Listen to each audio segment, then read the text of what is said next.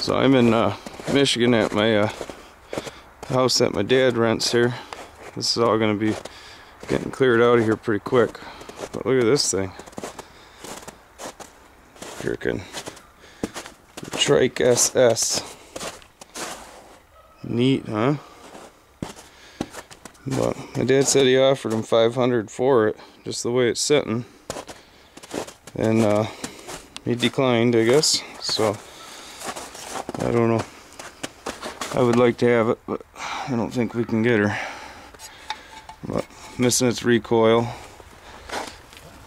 JLO, made in Germany, Rockwell. Uh, I don't know. I think it'd be pretty freaking cool. I'd trade about everything I owned for it, really. Pretty neat. But, yeah, look at some of the shit this guy's got, though, huh? Real neat stuff. Just sitting here rotting away. But, little Holley carburetor. Sitting in a fucking pile of, pile of ashes, you know. But, head for something.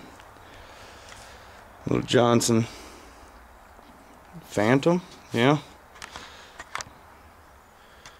We go. But yeah, thought I'd make one at least one video for everybody here when I'm uh, on my little vacation here. But yeah, anybody knows anything about these guys, let me know. They're pretty neat. I'm gonna do some uh, research. It's a Tryke SS. But okay, see you later.